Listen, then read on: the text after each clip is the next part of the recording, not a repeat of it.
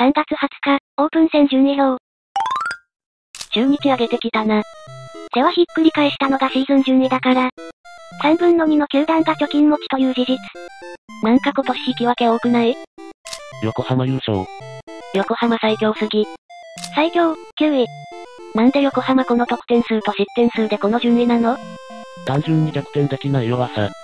そら接戦で逆転負けしてがち、試合は大量得点だからよ。やっぱ今年は西武が来そうやな。先発強いわ。広島田村は本物やな。